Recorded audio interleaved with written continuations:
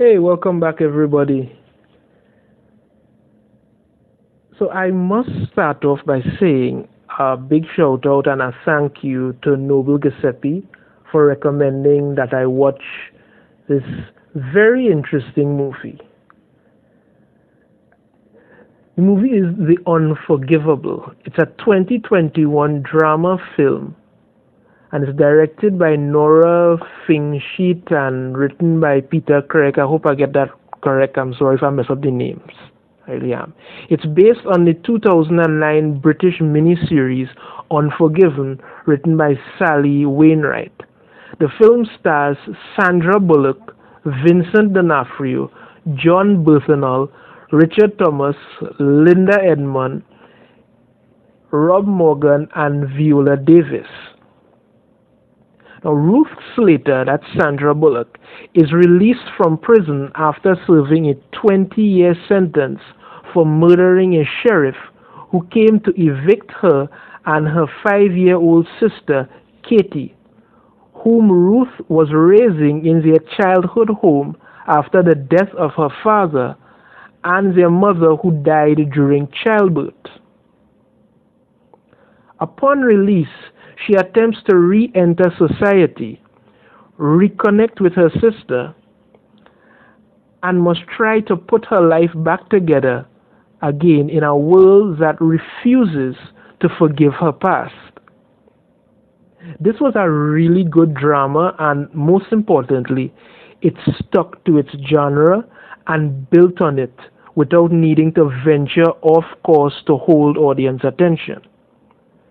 There are a lot of movies showing male convicts and their struggles to reconnect with society after having been incarcerated. But showing a female convict was a bold move, one that worked out nicely. And Sandra Bullock is fantastic in this role she really encompasses the very essence of the Ruth Slater character. Sometimes we tend to forget how truly talented and iconic these classic actors and actresses can be. But when they excel in roles like these, we are all strongly reminded of that fact. The makeup they used to show how 20 years in prison had taken its toll on her was both expertly and subtly done to the fact that I almost didn't even recognize her at first. Now, though the story was a little slow at times, it continued to build on itself with fantastic support acting from Vincent D'Onofrio, Jon Bernthal, um, Rob Morgan, and Viola Davis. They were all vital parts of the story that, that this movie was telling, and each of their interactions with the main character, whether positive or negative, shaped the direction that Ruth's life was taking.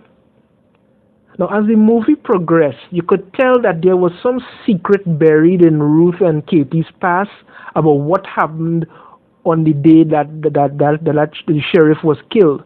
Something that Ruth was determined to carry alone, only wanting to keep her sister that she raised and protected like a mother safe. I mean, she spent 20 years in prison, endured constant hardships upon her release, branded as a convict, attacked at her job when they found out that she had about her killing the sheriff, and must confront the fallout from that murder. She's hurt and damaged, but the decision that she made to protect her sister 20 years ago keeps her strong, even if everyone and everything else turns on her.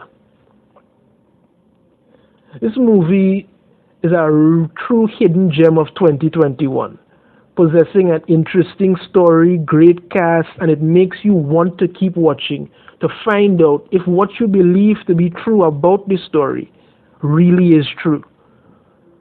It, it, it, it, as I say again, it builds on itself it works the way it's supposed to and it makes you it makes you interested in seeing how it all plays out and with a great cast this movie does well final rating 3.9 out of 5 i highly highly recommend watching this movie. Full disclaimer, though series is rated R. There is some adult language, but overall, it's a good movie. It deserves to be watched, and you should check it out. Well, that's it for me. Until next time, take care and see you.